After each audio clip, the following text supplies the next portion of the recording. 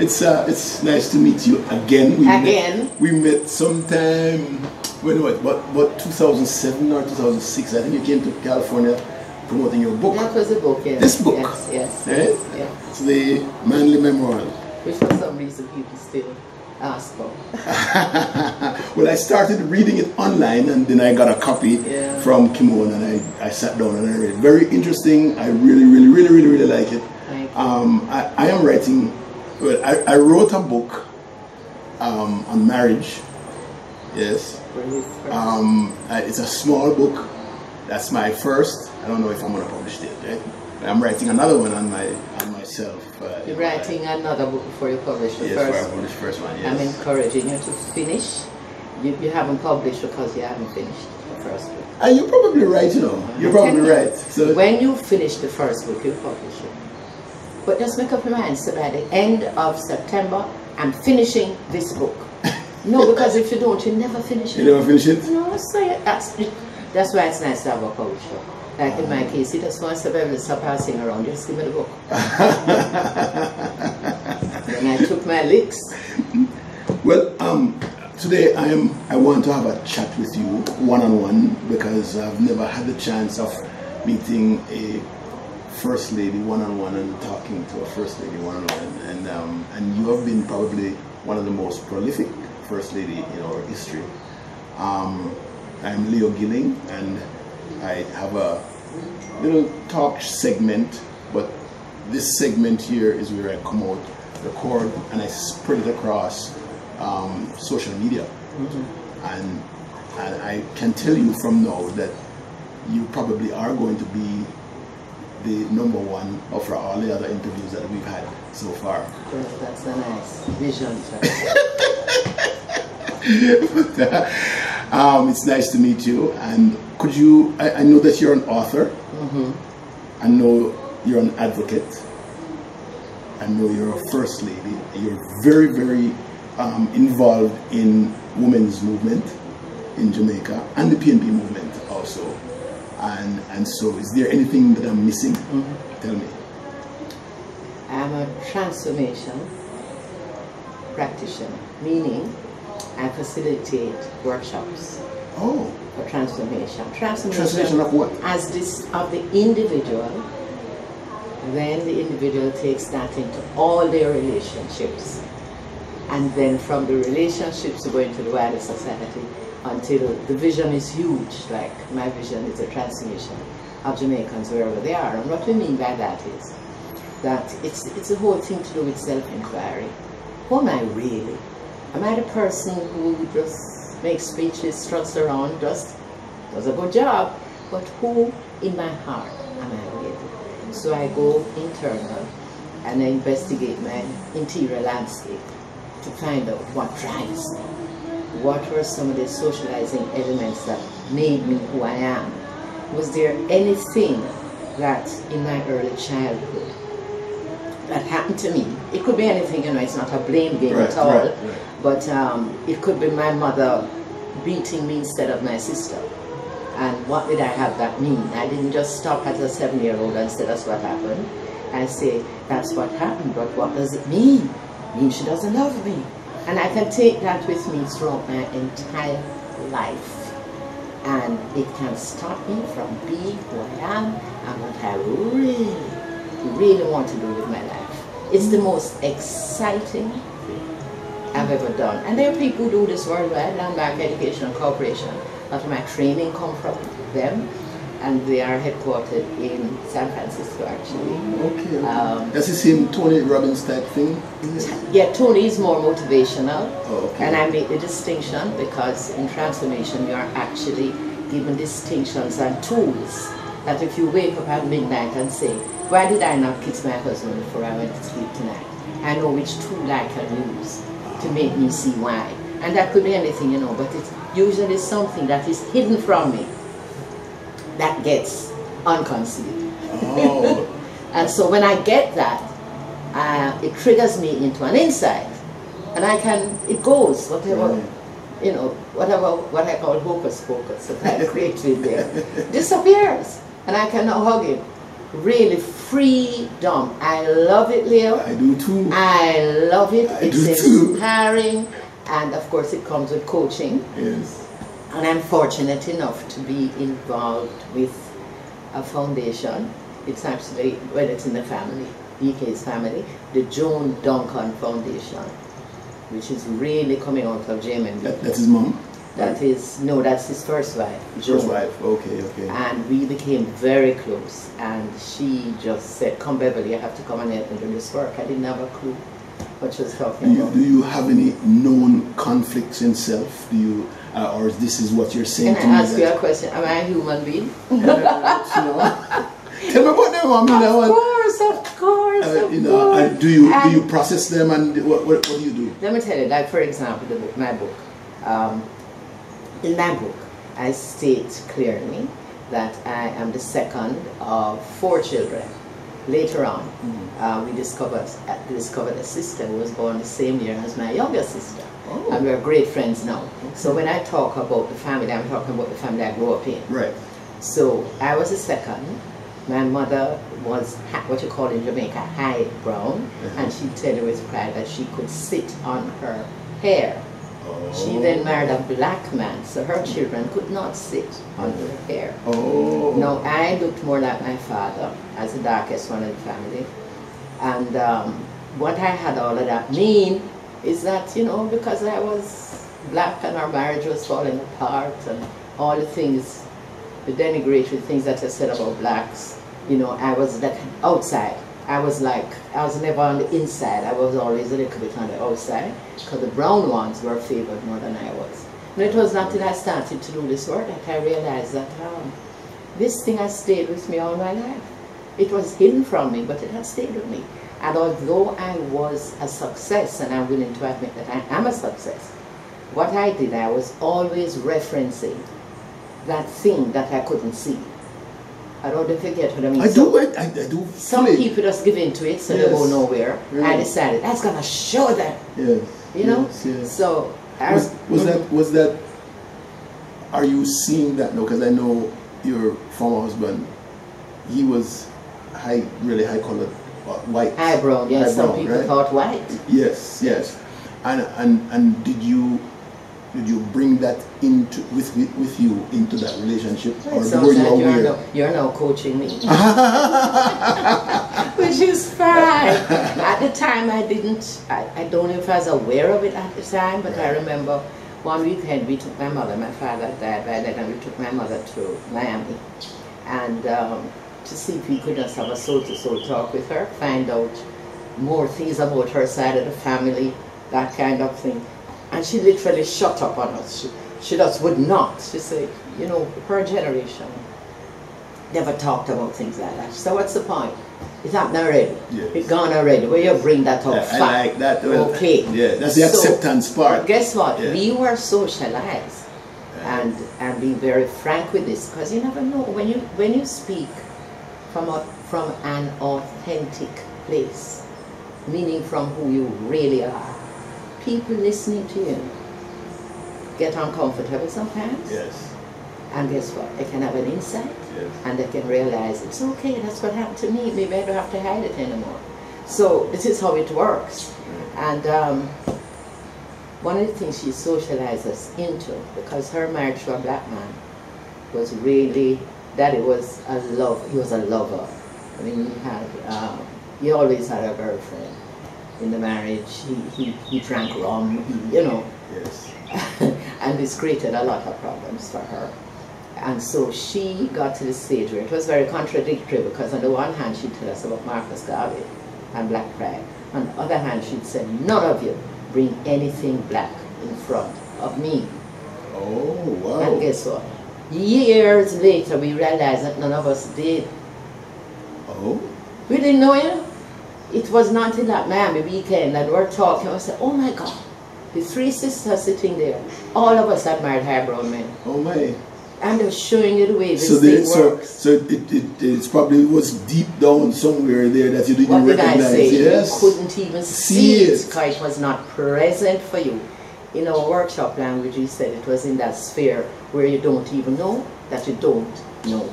But but in No, I want you to get that. in your book. All of it. us have that thing, you know, where you don't even know that you don't know. I know Now, that, when you yes. come to know it, you can shift it. What what was I gonna say? I wanna say to you that you actually in the book rejected Michael Manley initially. Actually Yes. ran away from him trying to not to get Running into that from place. alive. Yeah. but but then uh, here you are, you went back and settled with him based on based on what you're saying now, mom's thought. It was in me. Jesus. That's that's that's It's amazing, and this is why I want to. When I wrote this book, I was not as evolved in terms of transformation as I like to think I am now. Yes, yes. I use the word evolved because it's not a discipline that makes you better than anybody. It's just something you choose to be. Yes, It's yes. to do with your whole sense of being. And some of it is actually even existential, you know, because we have things that you say things in it like um, life is empty and meaningless. And the first time I heard it in a workshop, I was ready to walk out. Empty and meaningless. But guess what? The coach paused deliberately and then he said, and it is empty and meaningless because it's empty and meaningless.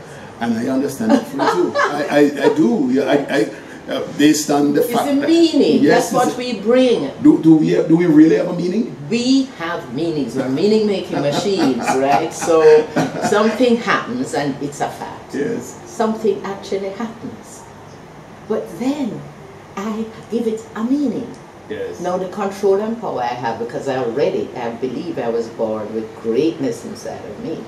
It's it may be covered up. Yes. It is covered up. Yes. In some of us more than some of us. But I mean you have to say, yes something happened, but then you have to have it might mean something. Understand. You know what I mean? My mother beat me, you can't stop there, you know, or you Yes. can't give it an empowering. You have a choice, you can give it an empowering meaning, like she really wanted me to get A, B, or C. Right. Or I can give it a meaning, which is the one I gave it, she doesn't love me. Oh, that, that And that is that's where the beautiful. power is. I like I like that that you know I, I spoke Saturday on uh, uh, I just put it out of the air and I spoke so, so, to some kids gender based violence and and while I sat there I, I came up with this thing where we need to d- define that there is a why in every decision that we make. Right at that crux of that why, right, is something happened. In your case, it's a beating. And and you could take one direction Or another. or you can take the other direction, right? And I was telling them once you take one direction, that other one is lost, it's gone. You, you don't you don't that no exists anymore. Even if you come back to it and try to regain, it's not the same thing, So right? it's not that it doesn't exist it's- anymore. It's, it's still It's there, but present for you, right, right? So, right. and you're correct, and I like how you did this. yes, because our, our work is grounded in what we call distinctions, which is a term again that Landmark uses.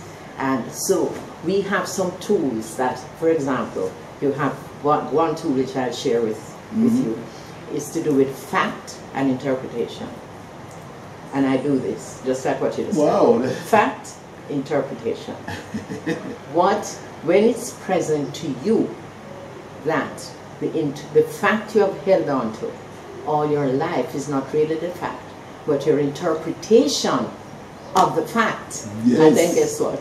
After a while, the interpretation becomes takes the fact. yeah. So- So, the fact doesn't exist anymore. No, it's yes. interpretation. It's interpretation. So, that's ask me about my mother. I won't say she beat me when I was young. Guess what I what I say? I know she never. I know you know Yeah. that she didn't love me. Now, when you do that, and it's something I use with your permission, it's it's similar to, to describing what actually happens. Because when you get that insight, that your interpretations will come to fact, something happens. You get the insight, and you can enter a whole new Realm. realm, a whole new realm. I've- because in in future, what you do, you say, where am I coming from? Fact or interpretation?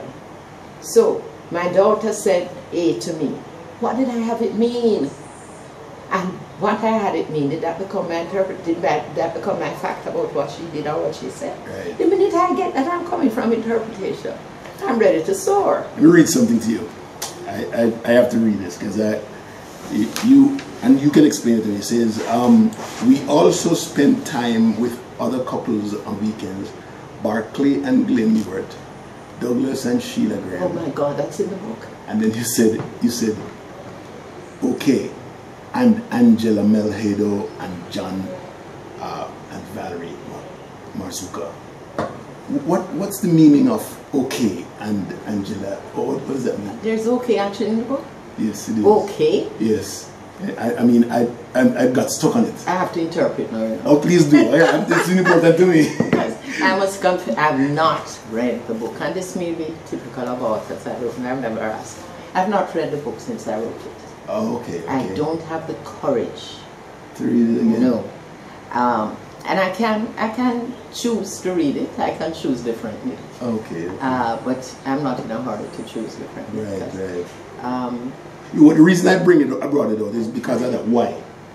Because I didn't know which way to take it. Why or what is said? Let's okay. get it Let's. Get what it right. are the facts? The facts. what, what right. actually saying? Okay, so the facts. Are, I'm hearing why and I'm hearing okay. Okay, the facts are that you had friendships with these people. I get that, then, but you're questioning me about why or okay. Okay. Okay. Okay. Oh, see, yes, okay. That, that's what you're yeah, questioning. And, and yes, yes, okay. yes, yes, yes. So the fact you're questioning, why did I put okay? Yes. And I'm telling you that it's been so long that I would have to interpret.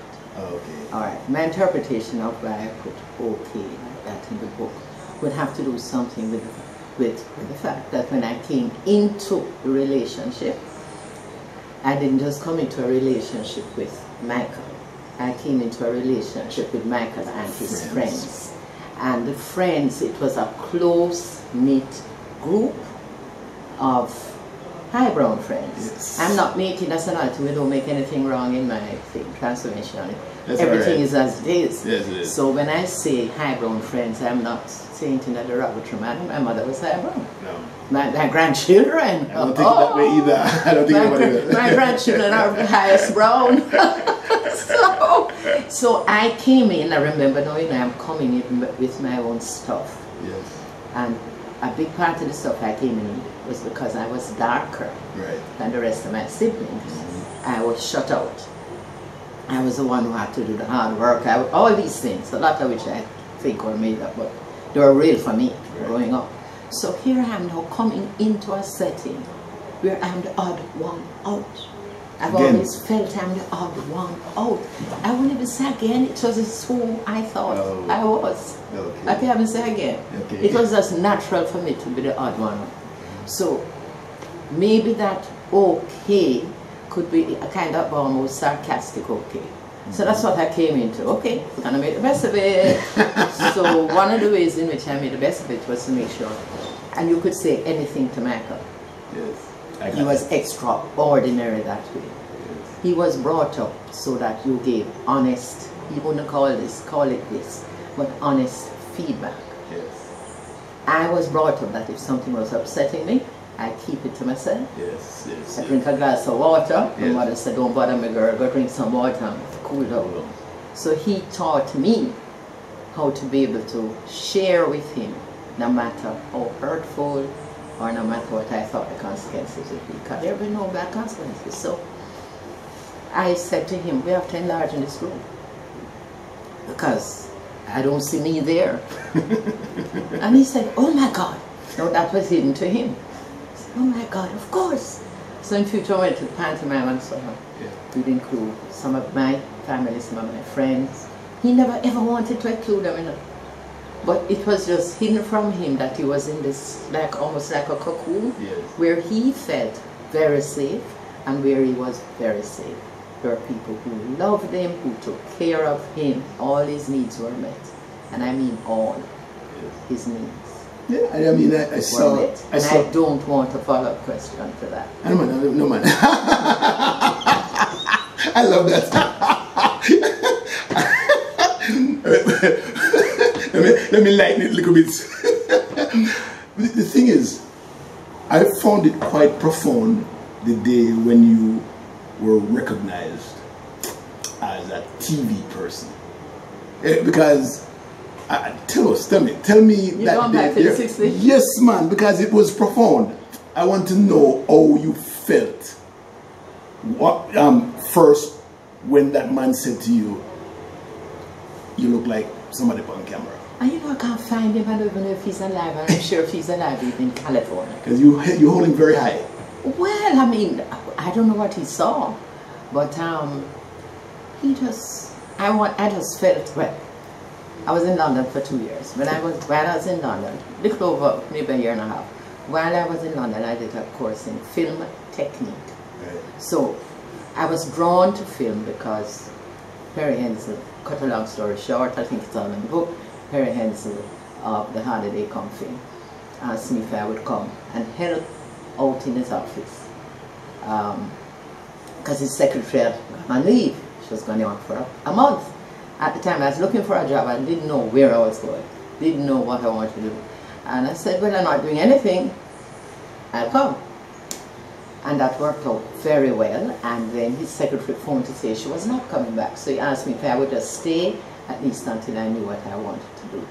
And that was where it all began, because I got into that world. I never did do my work behind the camera, but I found it very helpful being in front of the camera because of the study program I had done behind the camera. Right. I never thought of a link. Yes. I don't even think I've ever said this before, but when I look back on it now, that really helped. I know when the ah. camera was on me, I know when it wasn't on me. We're working as a team. That's when I learned teamwork. Yes. In radio, you can probably get away By with yourself. not doing teamwork. Right, right. But in my day, you had to have an operator across the glass. Right. So you had that team. Yes. In television, you had to have our six people.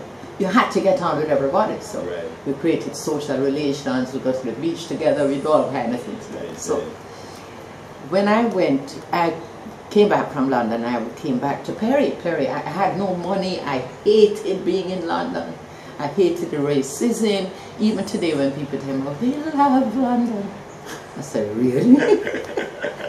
my children love it. My son lives there. My daughter is living there. Michael loved it. And of course, going to London with Michael, a little different from being a student. Um, in London. Going to London with Michael was saying, five-star hotel people waiting. I mean, it's, it's a different scene. But to be there as a student in the late 60s, I mean, there were signs on apartment buildings that said no blacks or dogs. I mean, you had to be there to know how. It was not nice. And my younger sister was there. She was there ahead of me. And we just decided we wanted to come home, but of course we didn't have any money to buy a ticket. Mm. So I called Perry. He needed me to come. And I said to Perry, I can't wait to get up there. He said, let me send you the ticket. He's one of my favorite people. He taught me so much. And so when I came back, I'm sitting in his office at work, and this man comes in and he says, um, you should be on television or something like yes. that. I said, what? you don't know how shy, desperate shy I couldn't walk from here to there. Oh, I'm not feeling the entire world was laughing at me. So I said, no, no, no, no. Yes, man. Yeah. No, no, no, no. I cannot do television. You're crazy. And that man never stopped. You know, it's it's so helpful and you have to give thanks when you have somebody like that in your life. Yeah. He never stopped. He said, come, I'm coming for you. And we're going to the JBC. And the general manager, I think, was a good friend of his at the time. Not think, he was. And we went down and they set up a camera and asked me some questions, something. And when it was finished, she said, oh my God, I knew it, I knew it, I knew it. The thing is with television, and maybe it's a gift that we bring, there's something called presence, and you get it when you are on stage too. There are some people who will walk on stage and do a part, and they just have a certain presence. So somebody may walk on and have a simple line like, I'm going into the into rural Jamaica today. And then somebody else who has this gift from inside, this present, Leonie Forbes, would walk on and say, you know, and, and, and you just get it. Yes, yes. So you can learn it, or I believe you can come with it. And when you come with it and learn it as well, is when I think it's powerful. So I was fortunate that that's what they saw in me. And that was it. Never worked behind the camera from them. I was always on camera and happily So, Yes. That's, that's, yeah, I, I, I took from that a lot of learning and um, because I I am in front of the camera but I'm not really in front of the camera you know I, and so this is where I thrive best because I want to talk and, and chat and find out more. more. Can I just say something on that because we're really having more than an interview, we're having a conversation. That's what it is. And um, what I already pick up in you, because I, I mentor people one on one Yes. um, in anything at all to do with broadcasting. I mean, you just have to phone me and say, Beverly, come and give me whatever. Right. And why I know I have a passion for it, because I do it, whether I'm paid or not. Because transformation has given me a completely different approach to like money. Um, yes, in this life you need to have money, but it really doesn't have to control what you do. I mean, once you're being authentic, you have your vision and you know what you're stepping into, the universe, as they say, comes to meet you. And what I pick up in you immediately is one, your authenticity. You really want to know something about me. And secondly, and of equal importance, you actually listen. if you watch television, Okay. overseas, anywhere, international television, local television, and just watch, just to play a game and say, let me see if that person is listening. They ask you the same question. Oh That you answer. No, no, you, you watch it from now. It's a very challenging thing for people to learn to listen. And in our work in transformation, listening mm-hmm. is the biggest thing, even more than articulating. Listening, because, and then you can choose where am I listening from. That's true. We don't just have to listen ad hoc. That's We true. could say, I'm listening from a place like today, I'm listening to you from a place where I'm doing this interview because I'd like somebody to learn something from it. That's why I'm listening to you. So I my, am. my responses to you would be like the way they are because I've chosen. That's what I want to do. Thank you very much. I um I read also in the book where you said that I didn't know much about this but Michael was a people person and he loves he said he would love to be black. That was profound, right? Um, and then he would fight for his black man or anything. Redemption. here's here's my here, here's what, what I what I, I came up with though.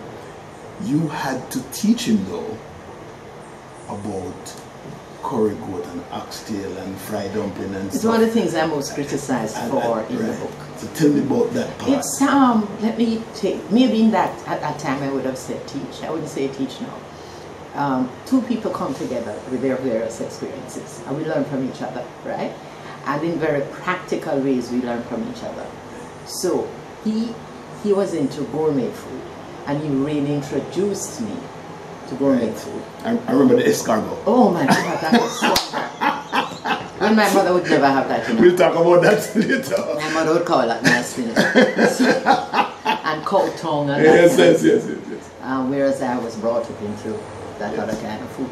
That's all that was. For me, it wasn't a big deal, Right. and it came in the book because I was attempting to show cultural differences. The cultural difference. Um, it's it's challenging to be married in the first place, and but when you come from the two different cultures, it can be even more challenging if you're not ready for the learning that has to take place. Yes. But where he was, and I want to keep saying it, he was an unusual type of human being. I know that. I, I, I saw mean, that. extraordinarily so. Because he could take in almost anything. You could say, as I said before, almost anything to him. And he was open. We're going to this dinner. He said, don't worry about it.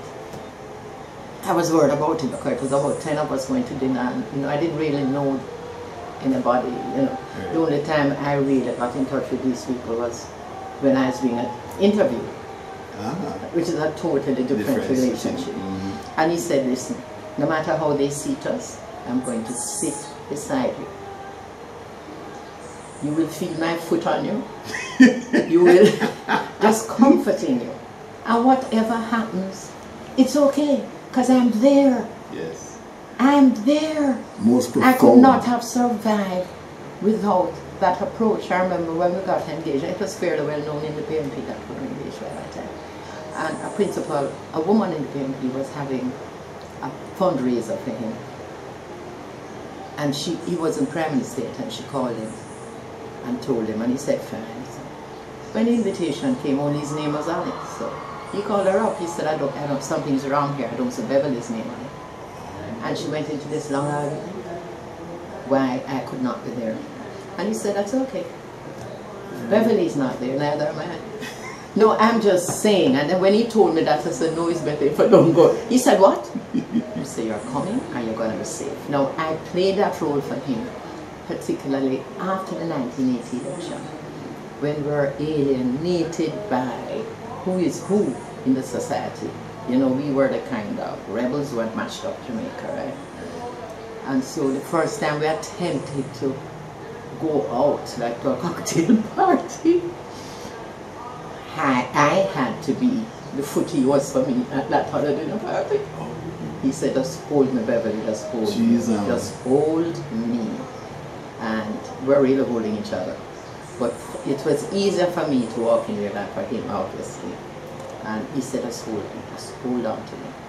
Just hold on to me. I'll get through this. I'll get through this. Deep down, did you find that you were deeply, I know what you wrote, you find that you were deeply in love with Michael Manley? And, and I, I remember in the book, the most profound part of the book is when you left that escargot dinner after you threw, you spilled the thing on the floor and thing, right? It took on- it took on a It took on of its own, right? Okay, okay. And and and I remember. love his carb. You No? No, no, you do. Now you do, right? I would have a whole meal, which I've done. So I, I remember how you said Michael sat in front of you after the escargot fell on the floor and took his life on his own, and you looked in his eyes and it was comforting, right? Right, you know, just say he sat beside me, you know, he's in front of me. He's right, is it? Yes. That's the memory. And uh, then the thing is, he, when you were going home, you were laughing about it. By then, yes. Yes. But what you said was based on his response at dinner, how he comforted you there, Yes. and what he said to you in the car. You find that you're falling in love deeply. Well, I had already fallen. I mean, after resisting him, after resisting him, and So- I say in the book, and I always say that he, he, he sort of pursued you like an 18th century lover. Yes. I mean, everything. Flowers three times a day. Wow. Uh, putting a telephone line in my flat that only he and I. When it rang, I knew it was him. Um, listening to my life as, a, as the only person. I mean, he, I could not escape. I tried him out because he was so much older than me, and when I shared it with one or two of my friends, they just laughed. He said, an old man." Mm, because yes, yes, in those yes, days, he's 18 years older than me. So, um, he really knew how to make a woman feel fantastic. And when I talk at these people say, but you left him. I but when I, I think I said in the book, that I gave up, when I met him, I gave up everything I had and followed him. Literally, because I was just about to go to university. Because growing up the way I did, my first sister went to university, and that was it. And I always promised myself that as I grew older, I'd get a chance to go to university. So I had left JBC, I was about to leave, going to Canada to continue my broadcasting career, and um, met him. Yeah. You know, everything just faded into insignificance. Um, they call oblivion. I, I was I was oblivion. I was, I was doing theatre at the time. I remember a film, co- a play called Black Comedy. We were doing it at the um, university, and he would come and wait, drop me there, and sit outside in the car, ask people were in that play with me, and just wait until I was finished every night. I couldn't, and then I fell in love with his intellect Yes. first. Yes. It's funny because Perry Henzell was the one who taught me, who said to me, you need to read read. You have an intellect that's amazing, but you just need to read. And he gave me a set of books to read. He really mentored me. And we had this wonderful relationship that never had any intimacy in it in the sense of sex, but Perry and I just became like brother and sister. He used to cry on my shoulder, I cry on his. You know, we're just, he just came into my life at a moment when I was ready to make a shift. And Michael continued it in terms of the intellect, except that, of course, now it was mixed with other stuff. So his whole vision for a world of equality and social justice, many ideas I've never given deep thought before, was just fascinating for me. And it still stays, it, it's something like it, it, has become a part of me. So that um, I still come from that space. And when people say to me, and I was spoiled rotten in the relationship. Oh, you? Yeah, yeah. I didn't look at it as spoiled, but we fell in love and his other wives and so on admit to it. That it's He almost like he had a, this may sound cynical, but it's almost like he had a module for falling in love, a manual. And I don't mean it to sound No man, no man, no man. I, I, I heard that before. Fell, he fell. And the same pattern of the roses and the looking after you.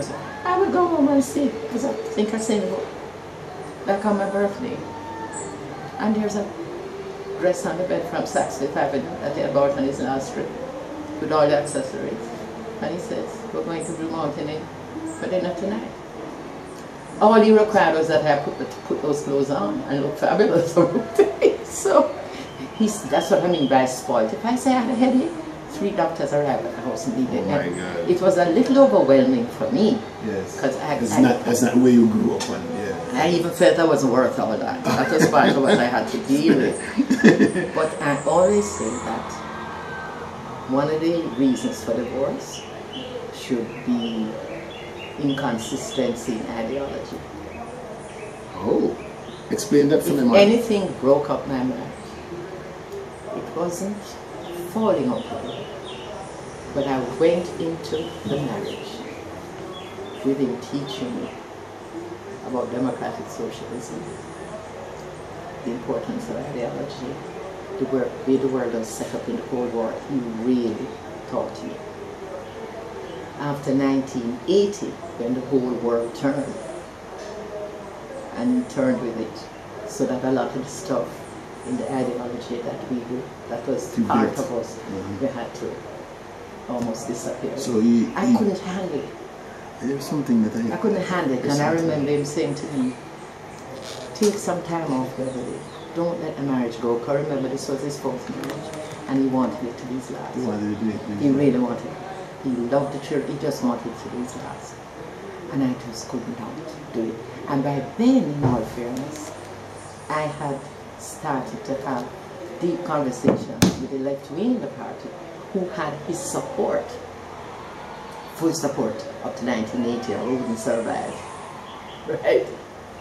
After 1980, when he began to question, and when I look back on it, now I can understand from his point of view why what we're doing doesn't make sense in the way the world was now, Okay. with globalization and so on. How do you look back on, on, on the divorce and the reason for the divorce versus your growth into the relationship with him? Because obviously you, you had a lot of respect for him. My for his stu- yes. For, Yeah, man, it, yeah, it, tell me about the, it was all mixed up. Just if, yeah. it's, I haven't seen it explained anywhere, and maybe one of the reasons I cannot write the second book, or I've not been chosen to write the second book. Let me put it that way. Is because in my life there's a mixture of being in love and ideology. Ah, Without the ideology, I don't no think there would have been that kind of love that I had for him. And so when the ideology started to kind of dissipate, so did the love. It was like a, and is one of the entanglements that So, I, so during during your the dating process, then, his his his his, his passion for the ideology was coming out in the dating process. And I think he saw in me, um, he saw how it resonated in me. Ah, Okay. I mean, his passion for this world of justice and, you know, and, and the whole thing about social class and calling Jamaica. Did he lose that? Did he lose that? I don't think he ever lost it. I think what happened to him, and he, I mean, he was his own words. He said, Beverly, I just can't do that anymore. It was one of our crying moments. Beverly, I just can't do that. Did you? Anymore. So what about And neither could I. what, what about your? When I say neither could I. I understand. If he couldn't do it, then you don't want to be. Uh, yeah, yeah. I, I understood that. Who? Um. So so. you know I have to go. You don't I know, I know, I know. I want to understand this part here. I, I hope you're feeling me the way I'm feeling you. Right? Uh, I, I know, man. Uh, all right. So so all right. So that's that's one last question. Uh, you know, how do you feel now writing this book? It's a beautiful book. Looking back at your relationship with Michael, and today, how do you feel today? When I look back from today, Yes. I'm far more compassionate um, about him and the decisions he had to take. I don't know how I would manage without my, um, I don't know how I would manage without the, the, the transformation work that I'm doing, Ah, which prevents me from, as we say, making anybody wrong. There's nothing he did that he could do to me if I had not chosen that he could do it to me.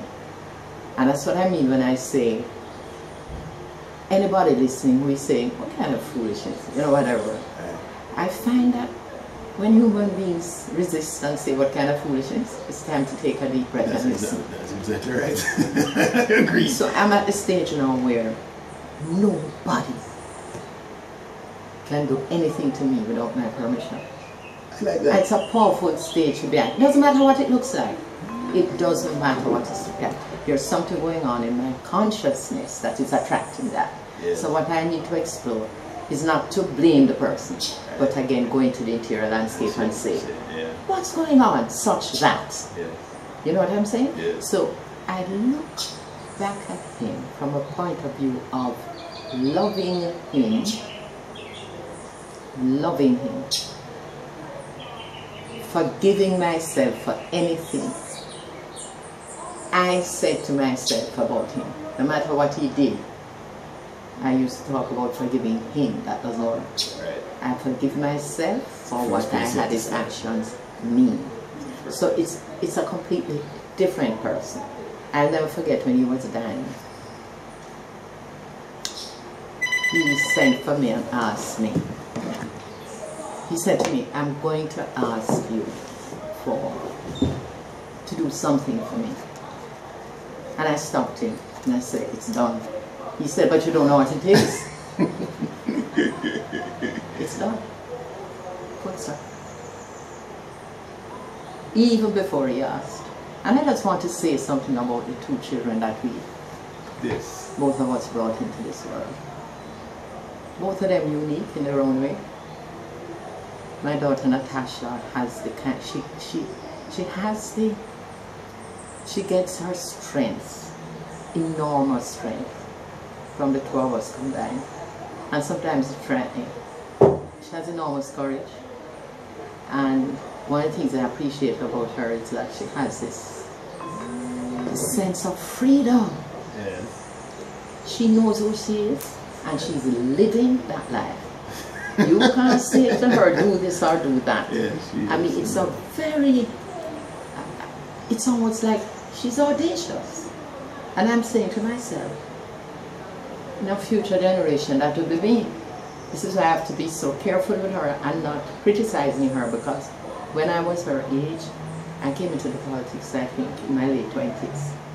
I was fearless for what I believed in. And people would have seen me maybe the way I see her now. And it is so heartening to see the generations continuing in the sense of knowing who you are and doing what you have to do and just having the courage to do it. My son David now is, he combines his courage with his with his father's compassion. Because although Michael was the kind of person who lied down in the street at a JBC I remember, I remember reading about a that. very important part of Michael was just his compassion. Compassion. Not that Natasha doesn't have it, you know, but David shows it up more. So they are like a, almost like a yin and yang. Yes, yeah. And um, he would be very proud of them, as he was with all his children. And the final thing is, if he had a wish about his children, it would be that they stayed in touch with each other. Now, these are children that came from four different marriages Are, are they in touch? and they are in touch with each other. They try once a year to actually physically be together. And they are not just in touch. I mean, they are siblings, they are family. Rachel? Rachel, first one, um, Joseph, Sarah, Natasha, and Dave.